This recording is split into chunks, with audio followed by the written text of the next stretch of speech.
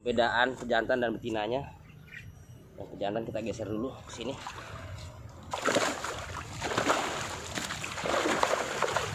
Nah, ini sudah kita eh, siapkan ya.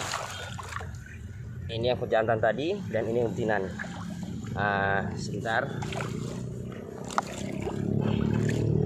Nah, ini perbedaannya pejantan dan betina ya. Dia di siripnya ini kalau betina dia hitam. Ya, tuh. Dia hitam. Tidak ma-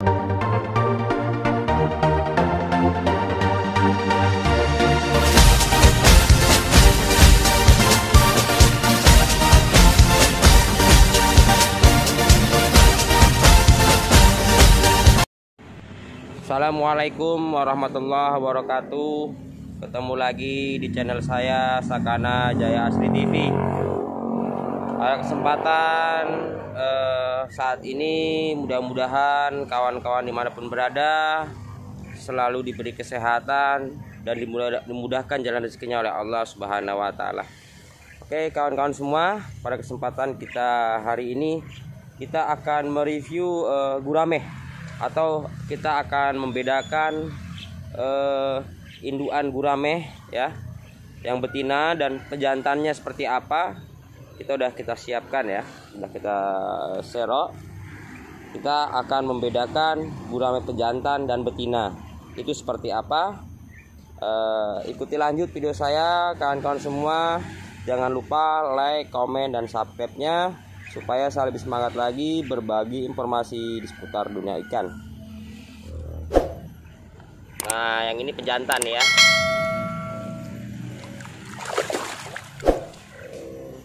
Bentar.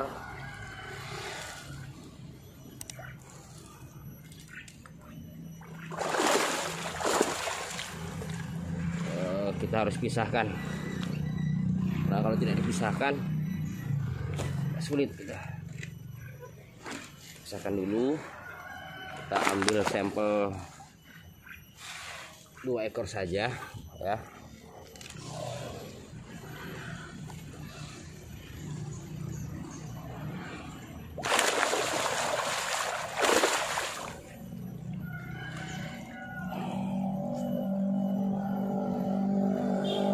Nah ini eh, cara membedakan ini ya pejantan.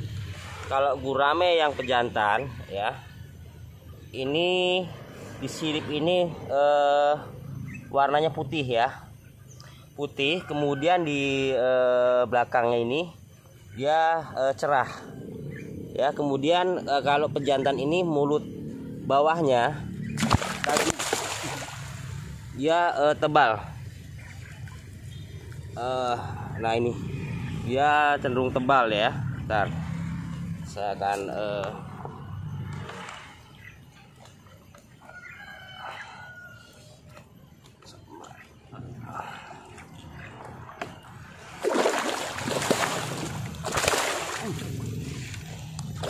luar biasa nah di sini ya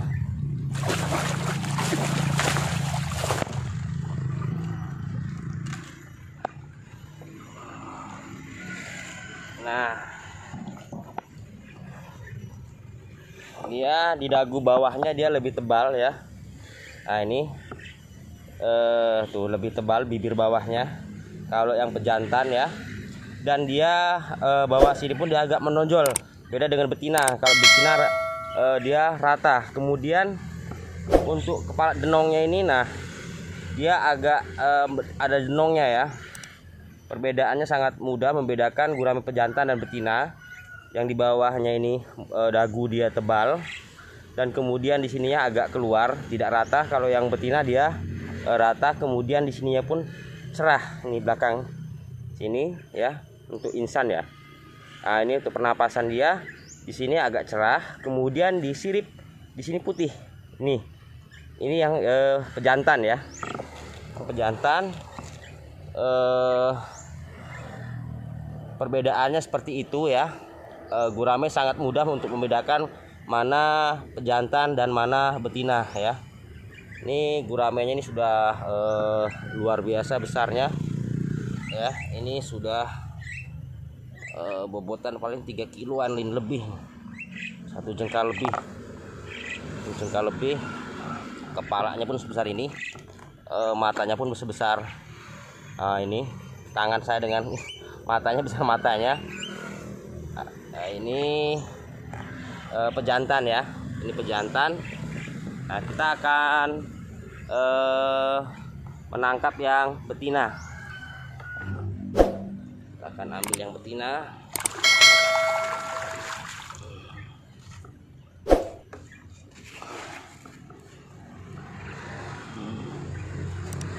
Nah ini. Aduh. Nah ini yang betina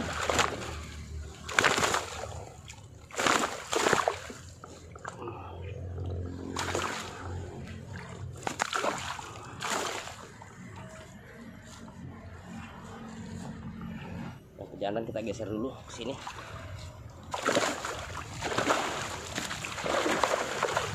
Nah ini sudah kita uh, siapkan ya. Ini yang pejantan tadi dan ini yang betinan nah sebentar. Nah ini perbedaannya pejantan dan betina ya. Dia di siripnya ini kalau betina dia hitam ya tuh. Dia hitam. Pas siripnya ini hitam ya. Kemudian bawah ini rata kemudian e, dagunya tipis ya tipis. Dan kemudian denongnya ini ini e, sedikit ya. Tidak tidak seperti pejantan dia e, kalau pejantan dia agak nongol ini tidak ya yang betina.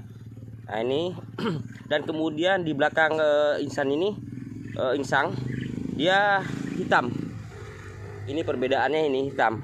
Beda dengan uh, pejantan. Nah ini pejantan dia uh, putih ya. Ini putih agak cerah cerah. Ini putih. Nah beda dengan betinanya. Ini betinanya dia hitam ya. Karena kalau pejantan ini dia uh, cerah. Kemudian di bawah dagunya pun dia tebal. Ini tebal ya. Dan ini dia terlalu jenong ya. Beda perbedaannya itu. Dan kemudian di bawah ini dia uh, ada agak ke bawah. Beda dengan betina. Dia kalau betina dia rata. Itu cara pembedaan yang uh, sangat mudah. Betina dengan pejantan. Uh, gurameh ya. Oke kawan-kawan semua.